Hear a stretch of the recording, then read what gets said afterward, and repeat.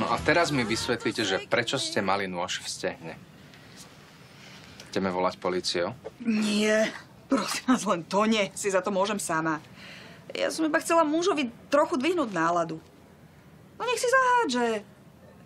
No ale máva lepšiu mužku, no. Keď to je eh, originálne hobby. a potešil sa? Nie, jemu už nič neprináša radosť. Už ani vrhanie nožov, už ani s tigrami sa nechce máznať. OK. Ale toto bude trošku štípať. No a prečo ste si nezavolali sanitku? Pretože trval na tom, že ma odvezie. Viete, ono sa veľmi ťažko niekomu vysvetľuje, že môj muž je vrhač nožov. Prepačte, váš muž je vrhač nožov? Vrhač nožov, krotiteľ tigrov a klaun.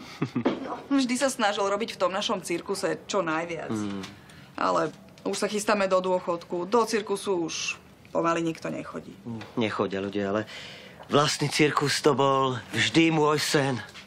A ja som myslel, že vašim snom je stať sa primárom. Aj Srnčík, vy nič neviete. Keby ste sa aspoň trocha o mňa zaujímali, tak viete, že som vyrastol pri cirkuse.